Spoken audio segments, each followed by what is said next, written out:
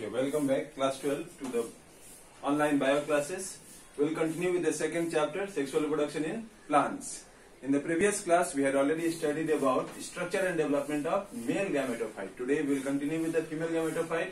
As you can see, this diagram is very important. This is the diagram of LS, that is longitudinal section of ovule. What is ovule? Ovule is the part of the ovary that contains or that changes into seeds after fertilization. Like ovary develops into fruit. Now, ovule is also known as megasporangium, the other name. Okay, the other name of ovule is megasporangium. The body of ovule consists of a mass of parenchymatous body. These cells are called parenchyma cells. So this mass of parenchymatous cells is called nucellus. Okay, what is it called? Nucellus. So if it is asked what is nucellus, it is a body or the mass of parenchymatous cells which forms the part of ovule. So this is the diagram of the structure of ovule in which the central part, this one which you can see, it is known as embryo sac.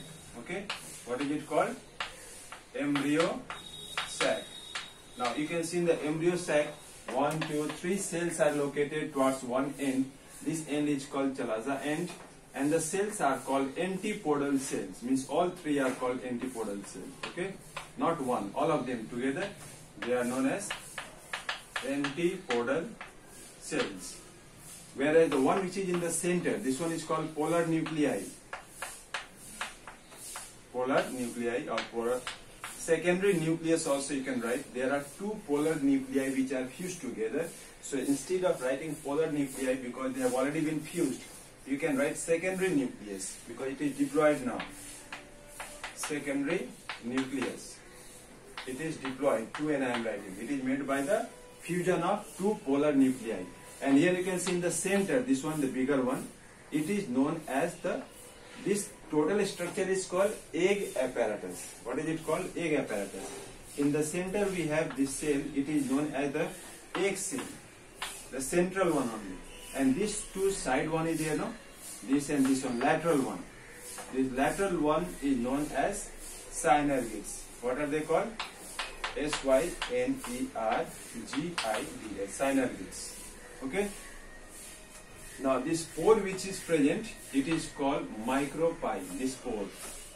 The gap which is shown here that is called micropyle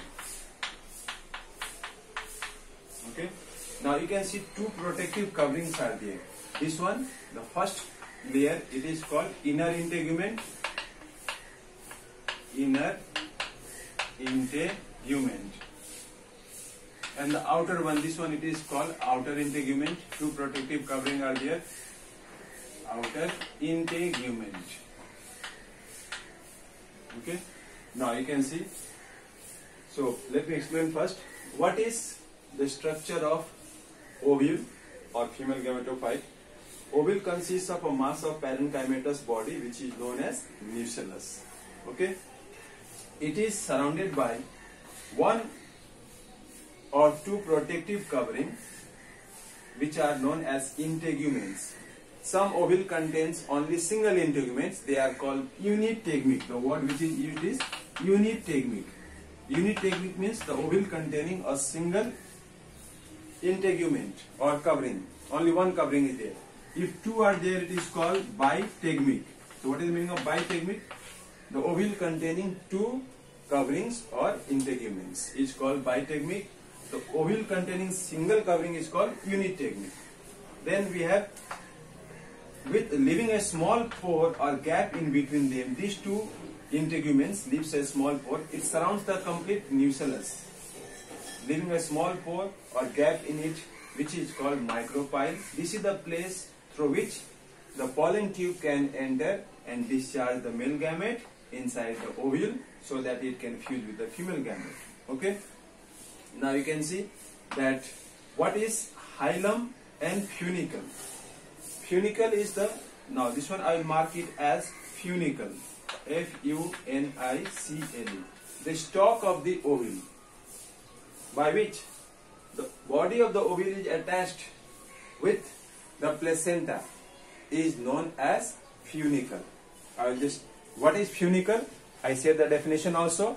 The ovary is attached to the placenta by a stalk called funicle. You can see this one. I have marked this line. Means it is attached to the placenta. So this stalk is called funicle. It's spelling not clear here. F-U-N-I-C-L, funicle. And the point of attachment of the ovule to the placenta, it is called hilum.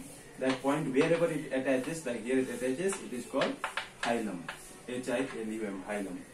Okay, and this one is called raphe, R-A-P-H-E, raphe. And you can see in the center of this, uh, what we say, nucellus, there is the embryo sac. I have already marked here, embryo sac, which contains different types of cells like antipodal cells, then secondary nucleus and synergids with uh, egg cell in the center, which is also known as egg apparatus. Okay. So hope you have understood now this one. Now what is megasporogenesis? The definition of megasporogenesis is the process of formation of megaspores. Like microspores means it is the other name of pollen grains. So megaspore is the other name of egg here.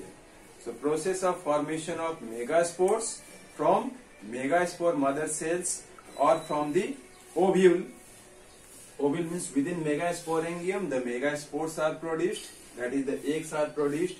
This process of formation of megaspores within the megasporangium is called megasporogenesis. Okay?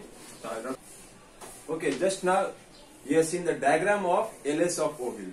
That you have to draw in copy and label the parts. It's very important for the examination point of view also.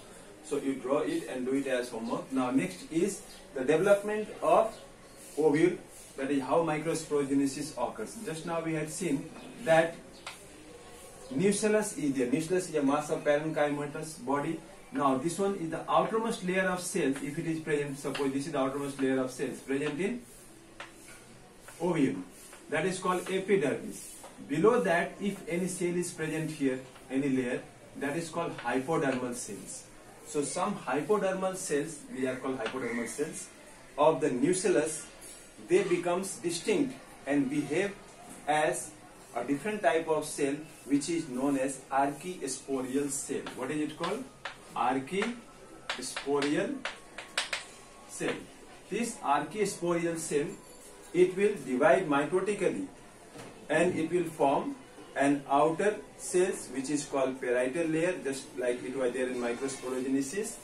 It will divide by the process of mitosis cell division to form outer parietal layer and the inner sporogenous the inner layer of cells which is called sporogenous cells or tissue the one which gives rise to the process um, microspore mother cell it is the sporogenous tissue only which can directly result in the formation of microspore mother cell. So microspore mother cells, like here I have drawn MMC, that is microspore mother cell. These are the, you can say the place from where the, I'm sorry, megaspore mother cell, this is the one from which the ovules, that is the eggs are produced. They are the birthplace, development of human gametophyte. This Megaspore mother cell is the one which gives birth to the embryo sac from which the embryo sac will develop. So we can say this word that it is the birth place of embryo sac. Okay?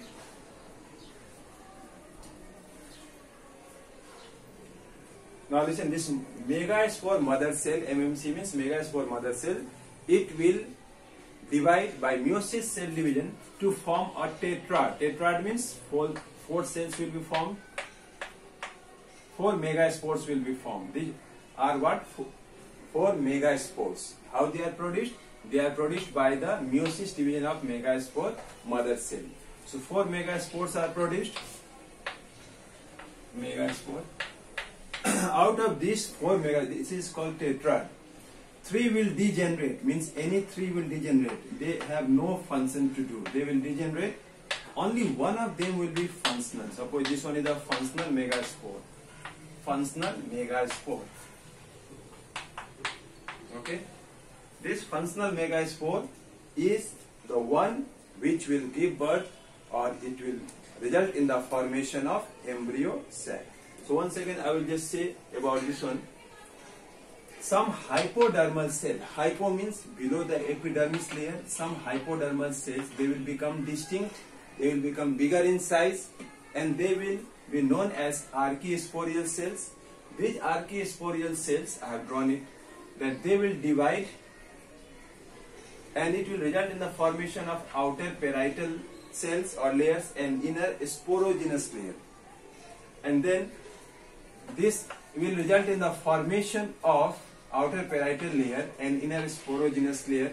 Inner sporogenous layer can directly result in the formation of megaspore mother cell or by the process of division also it can result in the formation of megaspore mother cell.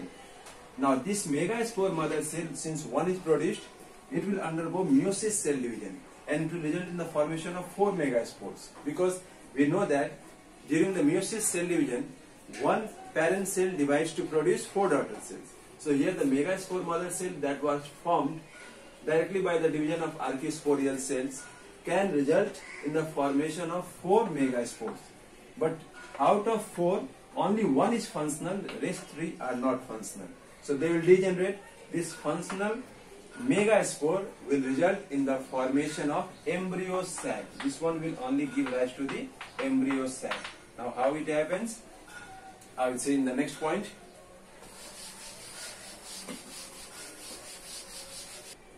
Okay, now next topic is development of female gametophyte or embryo sac. You know that the functional megaspore mother cell, MMC, just now I had said functional because four were there, only one is functional. So functional megaspore mother cell, it will result in the formation of many nuclei, many nucleus will be formed and it will result like how many nucleus? Eight nucleus will be formed inside by the division of megaspore mother cells because it will undergo mitosis division, repeated division. So out of these eight nuclei which is produced, eight nuclei is produced. Three of them will move towards the one end that is called chalaza end. Three of them will move towards the micropylar end. This is the egg, egg one and these two are the synergids. And two of them will move towards the center which will fuse together. They are called the polar nuclei. Earlier they are known as polar nuclei. Both the polar nuclei will fuse together because they are haploid N plus N. Two N are there. That will give rise to 2N that is diploid secondary nucleus. And these cells they are known as antipodal cells. All three. Okay. All three are known as antipodal cells antipodal cells. Okay, now this type of nucleus, the embryo sac, in which there are seven cells 1, 2, 3, 4, 5, 6. This one fuses to form one only. So it is called seven cell stage. Seven cell stage. But there are actually eight nuclei. If you count the nucleus, this is diploid that is 2n. 1, 2, 3. 3 plus 2, 5 plus 3, 8 such type of embryo sac which has developed from a single megaspore. It is called monosporic monosporic 8 nucleate. Why monosporic? Because it has developed from a single megaspore mother cell. So monosporic 8 nucleate embryo sac. It is also known as polygonum polygonal type of polygonum type of embryo sac. Means an embryo sac that contains many nuclei in it. it is called polygonum. And it is found in more than 81% of flowering plants. It is very common type of embryo sac in flowering plants. Okay in more than 81% of flowering plants such type of embryo sac is present okay?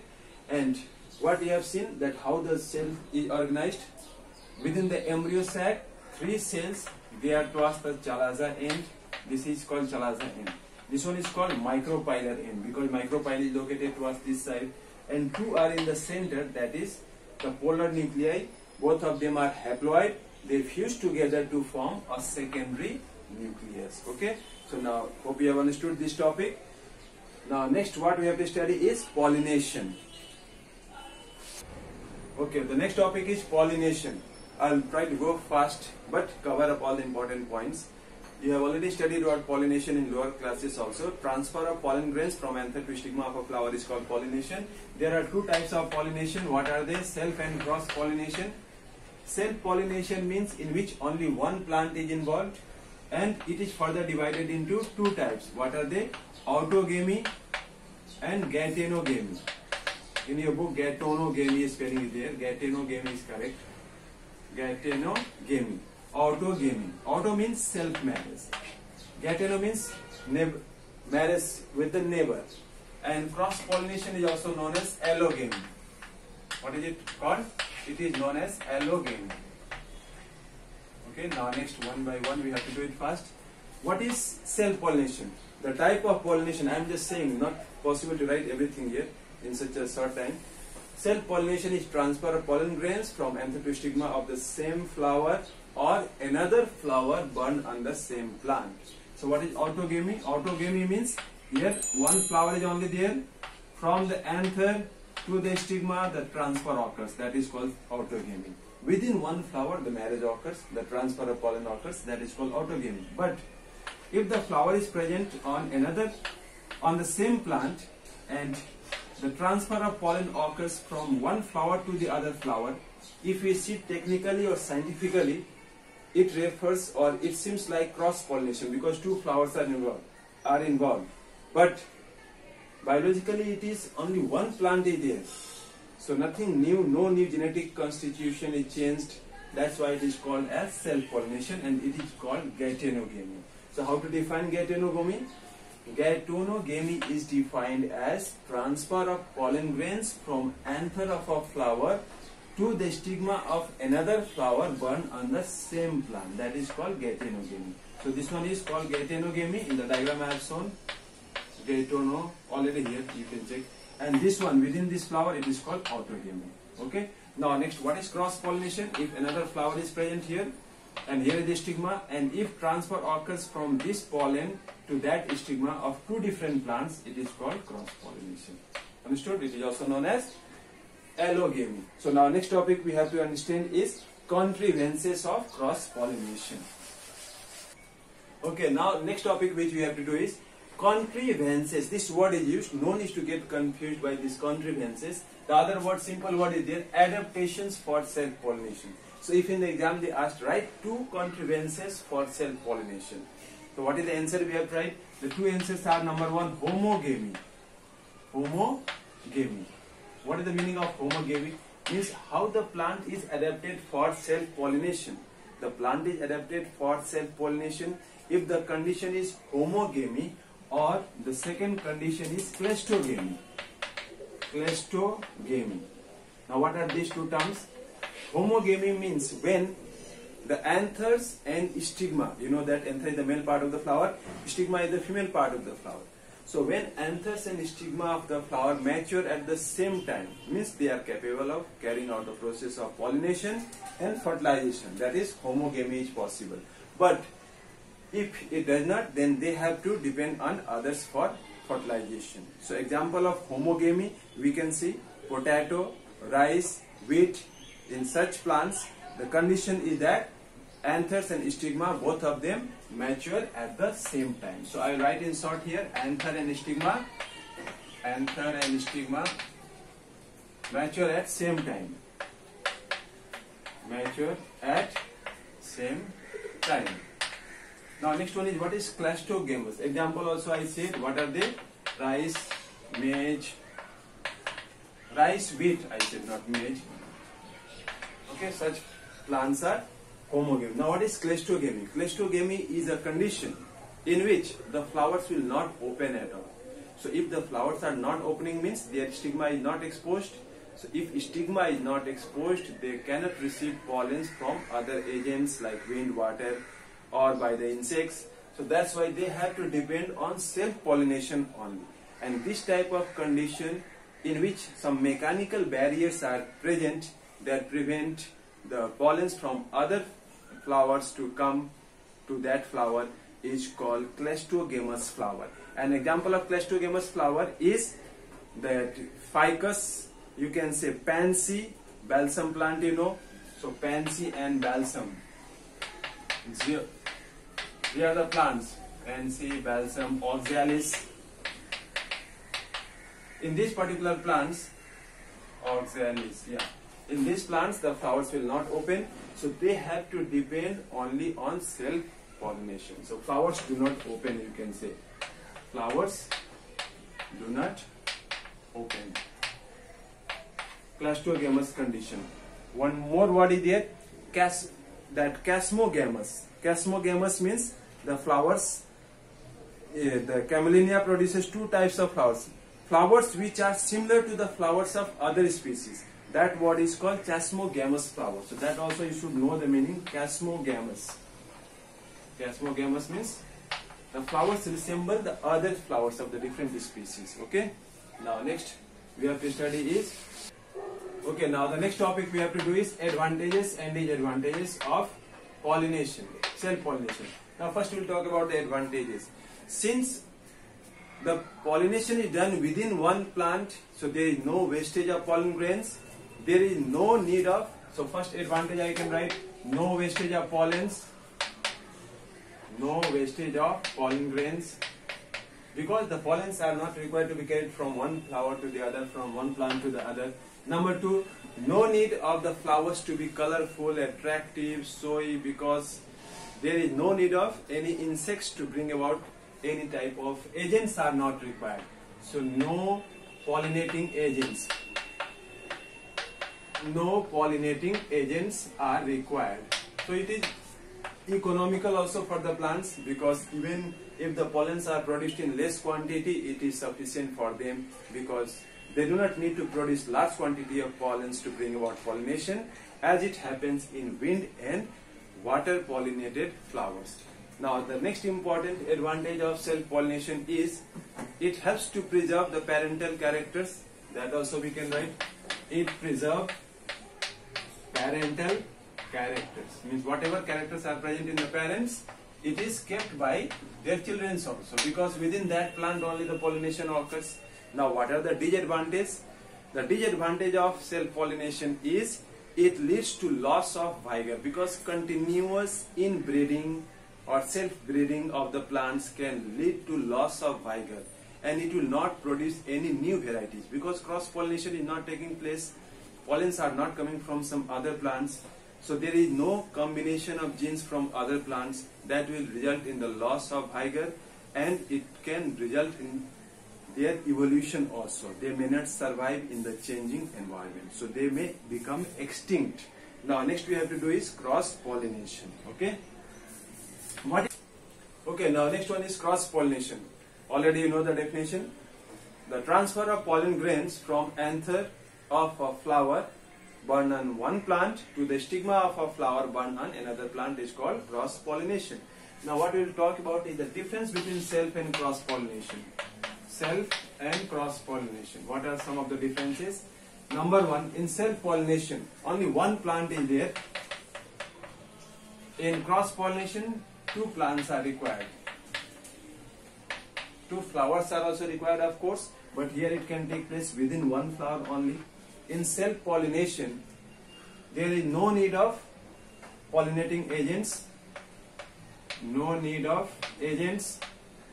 Agents means that wind, water and all. Yet agents are required. Pollinating agents are needed.